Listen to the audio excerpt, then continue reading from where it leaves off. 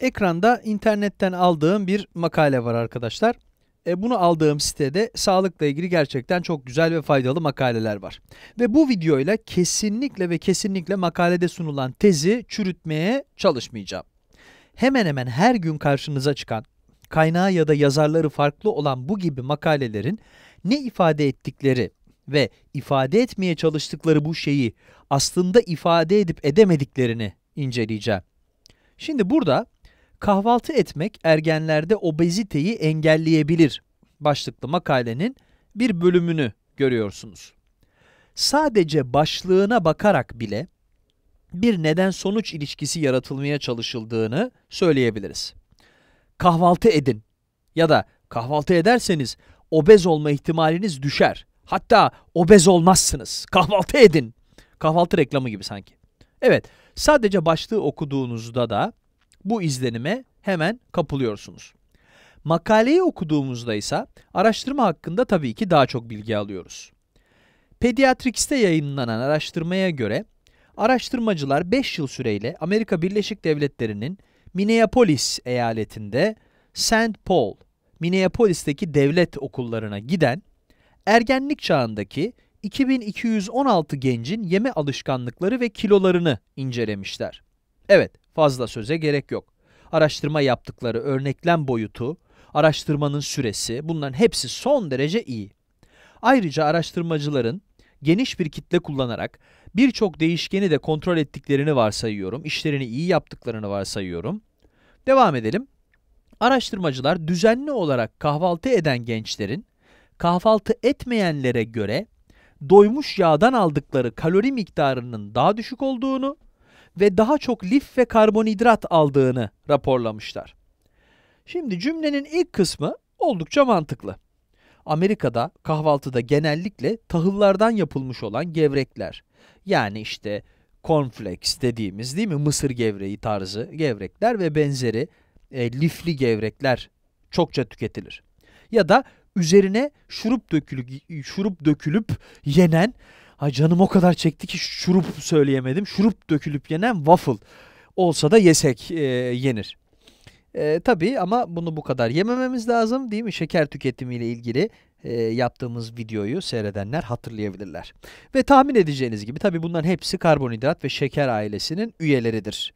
Yani zararlıdır. Aslına bakarsanız bu sağlık açısından pek de yani iyi bir şey değil. Neyse, açıkçası yine Amerikalıların çokça yaptığı bir şey olan Kahvaltıda bol yağlı, kızarmış şarküteri yani e, bacon pastırma tarzı şeyler yemek değil mi? Et yemek yani. Üzerine bolca şurup dökülmüş waffle yemek.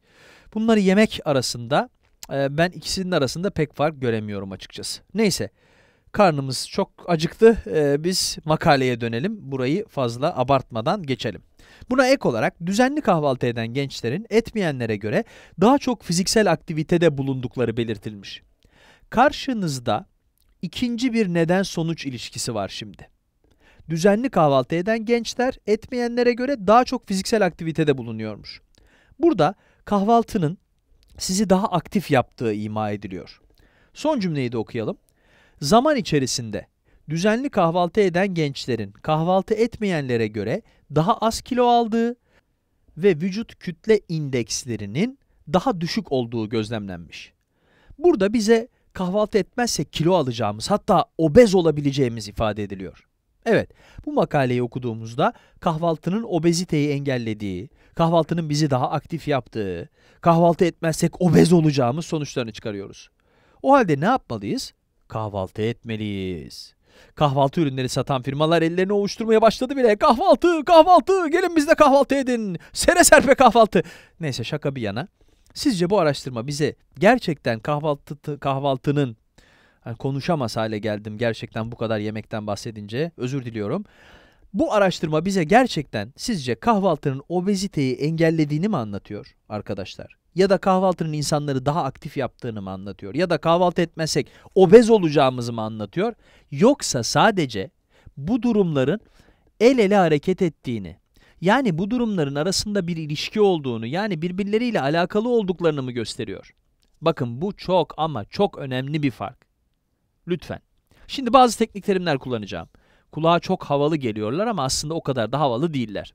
Sizce araştırmacılar buradaki nedenselliği mi göstermeye çalışıyorlar? Bu arada ben bunu yaptıklarını düşünüyorum he. Kahvaltı etmek obez olmamıza neden olur. Kahvaltı etmek, yanlış söyledim, kahvaltı etmek tam tersine obez olmamamıza neden olur. Kahvaltı etmek daha aktif olmamıza neden olur.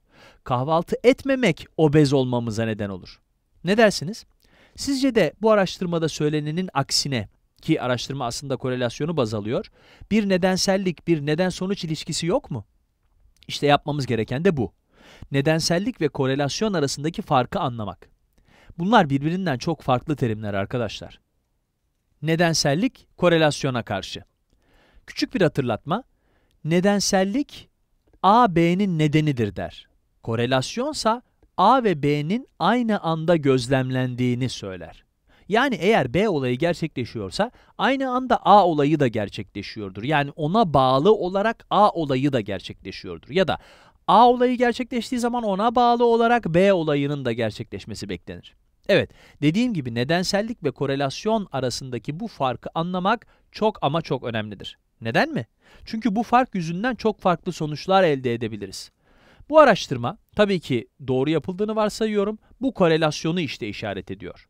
Evet, söylenen her şeyin doğru olduğunu kabul edersek, kahvaltıyı atlamakla obezite arasında ve obezite ile kahvaltıyı atlamak arasında korelasyon olduğunu söyleyebiliriz. Bu iki durum aynı anda gerçekleşiyor.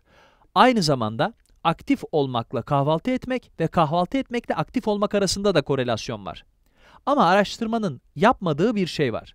Bize neyin neye sebep olduğunu söyleyemiyor. Hatta belki de bu iki durumun ortaya çıkmasına neden olan başka bir durum da vardır. Bunu bilmiyoruz kahvaltının daha aktif olmamıza neden olabileceğini söylüyorlar ama daha doğrusu bunu ima ediyorlar ama açık açık nedenini açıklamıyorlar. Evet makalede bunu açıkça söyledikleri bir cümle görmüyorum.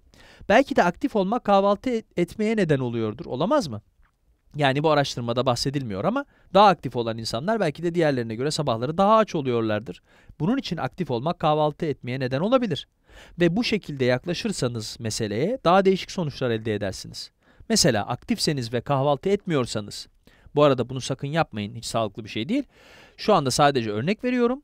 Evet, aktifseniz ve kahvaltıyı atlıyorsanız belki de daha fazla kilo verirsiniz. Hatta belki bu daha sağlıklı bir seçim bile olabilir. Yine parantez içinde örnek olarak söylüyorum, doğru değil arkadaşlar. Ama bundan emin değiliz. Yani araştırmada buna değinilmemiş. Araştırma bize kahvaltı edenlerin diğerlerine göre daha aktif olduğunu söylüyor ve bu son derece doğru bir çıkarım.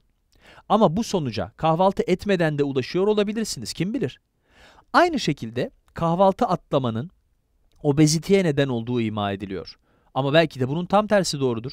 Yani mesela vücudundaki yağ yoğunluğu yüksek olan insanlar belki daha az acıkıp kahvaltıyı atlıyor olabilirler. Evet belki de bu nedenselliğin yönü makalenin söylediğinin aksine bunun tersidir. Hatta ve hatta bu iki durumun ortaya çıkmasına yol açan üçüncü bir durum bile olabilir. İsterseniz buna benzer başka örnekler bulabiliriz. Gelin fiziksel aktiviteyi değerlendirelim. Şimdi şu an size aynı veriye bakarak bu makalede sunulan sonuçtan yani obez olmak istemiyorsak kahvaltı etmeliyizden değişik sonuçlar çıkarılabileceğini anlatmaya çalışıyorum. Evet, eğer çok fiziksel aktivite yapıyorsanız, sabahları aç olacağınız için muhtemelen kahvaltı ediyorsunuzdur. Ayrıca eğer yine çok aktifseniz, daha çok kalori, kalori yakıp kas kütlenizi büyüttüğünüz için de obez değilsinizdir yani. Obez değilsiniz. Ve dikkat edin eğer fiziksel aktivitenin bu iki duruma neden olduğunu düşünüyorsanız sizin için artık kahvaltı etmekle obez olmamak arasında bir ilişki yoktur. Yani artık kahvaltı etmenin obeziteyi engellediğini savunmazsınız. Peki fiziksel aktivitenin bunlara neden olduğunu biliyorsak eğer obez birisine ne yapmasını söylersiniz? Kahvaltı edip obez olmamasını mı? Hemen söyleyeyim bu bir işe yaramaz. Hele hele fiziksel olarak aktif değillerse. Evet hem obez olup hem de fiziksel olarak aktif olmayan biri var ise eğer elimizde o zaman ne olur? Kahvaltı et mi dersiniz? Belki bu işleri sadece daha da kötü yapar. Bu durumu incelerseniz makalenin ima ettiği şeylerin yanlış olduğu sonucuna varırsınız. Ve belki de sihri yapan fiziksel olarak aktif olmaktır.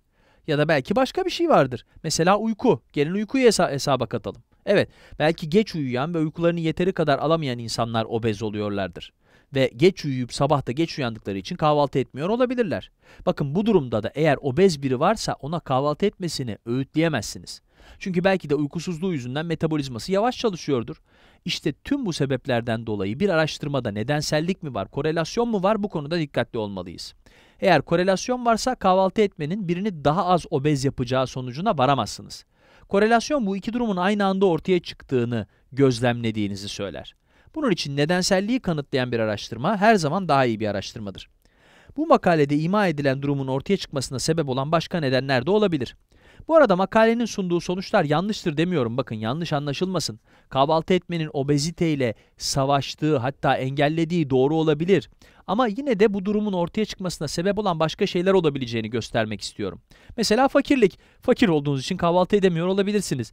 Ee, belki günde 3 öğün yemek yiyecek kadar paranız yok. Yani ayıp mı yani? Olabilir. Veya başka sebepler aileniz çalıştığı için olabilir. Veya başka sebep iyi beslenmiyor olabilirsiniz. Sonuçta obeziteniz başka şeylere bağlı olabilir. Bu durumlarda kahvaltının içeriğine bakmadan birine kahvaltı etmesini söylemek hiç de iyi bir şey yapmak değildir. Belki de altta yatan neden sadece akşam yemeklerinde sağlıksız ve aşırı beslenmektir. Belki de bu yüzden obezsinizdir. Doğru beslenmediğiniz için obezsinizdir yani kahvaltı ile ilgili olmayabilir. Neyse, benim söylemek istediğim şey şu. Yani sonuçta önemli olan ve sizden yapmanızı istediğim şey bunların yanlış olabileceğini de her zaman aklınızın bir köşesinde bulundurmanız. Yani bir korelasyon gördüğünüzde hemen kahvaltı etmenin obeziteyi engelleyeceği sonucuna ulaşmayın.